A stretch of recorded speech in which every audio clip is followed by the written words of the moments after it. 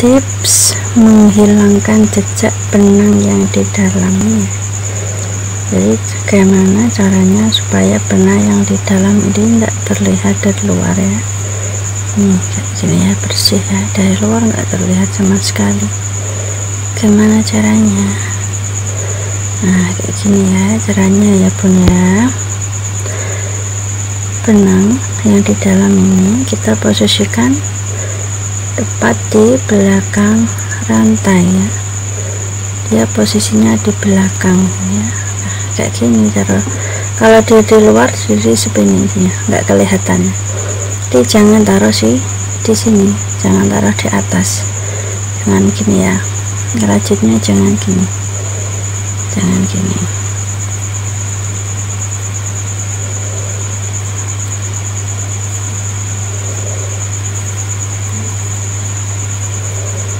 nanti kelihatan ya kelihatan ya kalau kita letakkan di atas rantai. Bagaimana posisi yang benar supaya tidak terlihat dari luar. Nah kita letakkan sini ya. Hmm, pas di belakang rantai yang warna coklat susu ya di belakang sini. Terus jari tengah sama jari jempol tangan kanan tangan kiri maaf. Tugasnya mengatur ini mengatur kencang kendornya benang ya di dalam. Dia selalu ini ya menahan gini. Kayak gini. Jadi pas rajut tangan kiri menahan benang yang bagian dalam. Nah sesekali sambil kita kontrol.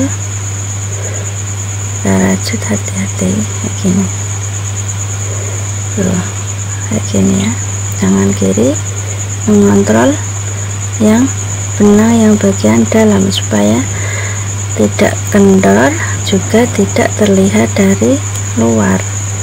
Nah seperti ini ya bunda ya. hmm, kayak gini.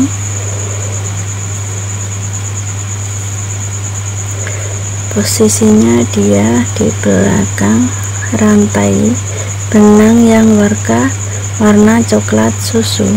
Nah. Ini dia nah kayak gini. Nggak kelihatan ya? Tuh. Tuh nggak kelihatan ya dari luar ya. Meskipun di dalam isinya ada benang lagi dari luar tidak kelihatan sama sekali ya. Oke selamat mencoba. Semoga berhasil ya bunda